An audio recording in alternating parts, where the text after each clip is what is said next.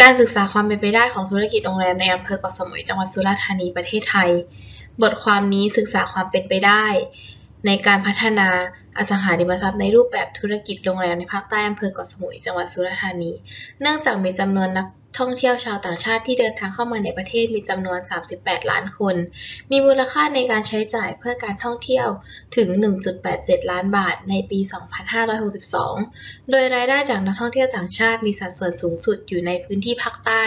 คิดเป็น 76%ของจำนวนรายได้จากนักท่องเที่ยวทั้งหมดในพื้นที่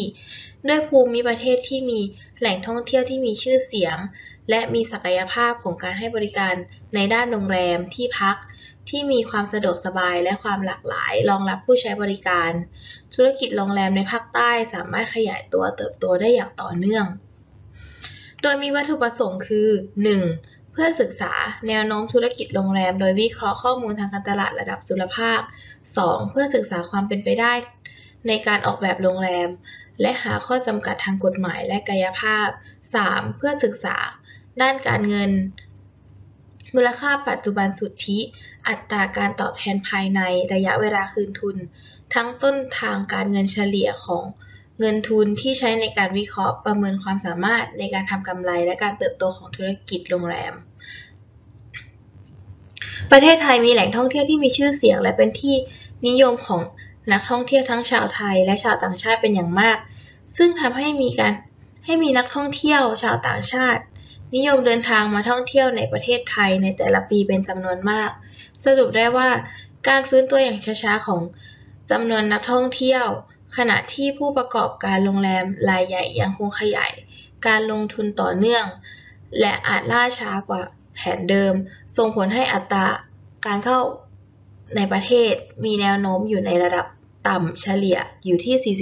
40%ในปี 2564 ก่อนจะปรับขึ้น เป็น 50-53%ในปี 2565 และ 60-63%ในปี 2566 ตามลำดับ นักท่องเที่ยวชาวต่างชาติคาดว่าจะทยอยเพิ่มขึ้น ผลการวิจัยจากการศึกษาเรื่องการศึกษาความเป็นไปได้ของธุรกิจโรงแรมในอำเภอเกาะสมุยจังหวัดสุราษฎร์ธานีประเทศไทย ได้ผลการวิจัยที่สามารถนำมาอธิบายได้ดังนี้ จากการศึกษาแนวโน้มของธุรกิจโรงแรม โดยวิเคราะห์ข้อมูลทางการตลาดระดับจุลภาค แนวโน้มธุรกิจโรงแรมในอนาคตพบว่าจะมีทิศทางในการจัดการบริหารโรงแรมในด้านต่างๆ ได้แก่ 1. ด้านการลดต้นทุนของธุรกิจโรงแรม 2. ด้านการเงิน 3. ด้านการตลาด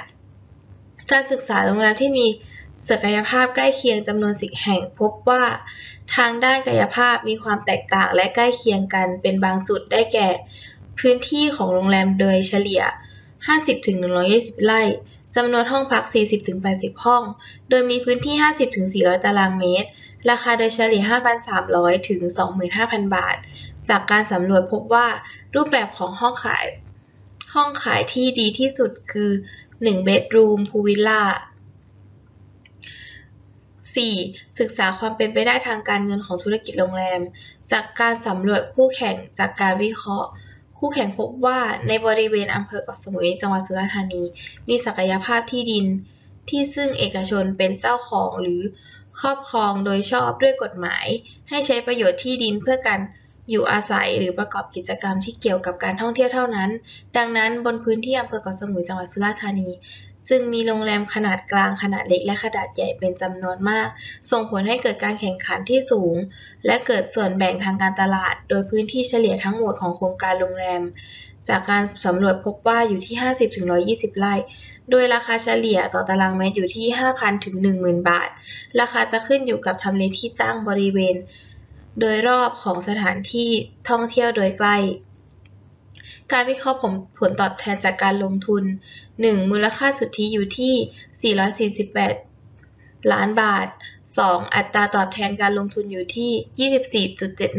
24.71% 3. ระยะเวลาในการคืนทุนอยู่ในปีที่ 5 สรุปและอธิบายผล จากการศึกษาและค้นคว้า ผ่านการวิเคราะห์โดยการเปรียบเทียบข้อมูลในกรณีศึกษาและทบทวนวรรณกรรมกลยุทธ์การตลาด สรุปได้ว่า การวิจัยในครั้งนี้ได้ใช้เครื่องมือในการวิจัย โดยการสำรวจและเก็บรวบรวมข้อมูลเกี่ยวกับกลยุทธ์ดำเนินธุรกิจโรงแรม ทางด้านการตลาดและการเงิน ศึกษาคู่แข่งที่มีศักยภาพใกล้เคียงในโครงการ สามารถวิเคราะห์จุดแข็งจุดอ่อน โอกาสและอุปสรรคของธุรกิจโรงแรมและนำมาประกอบ การวิเคราะห์ในการทำโครงการโรงแรม โดยผู้วิจัยคาดหวังว่าผลการศึกษาจะเป็นแนวทางใน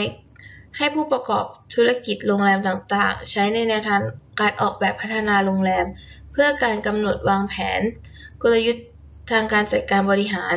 และการตลาดได้อย่างเหมาะสม โดยนำการวิจัยมาวิเคราะห์ และสร้างโอกาสในการแข่งขันธุรกิจในโรงแรมที่เป็นปัจจัยที่มีอิทธิพล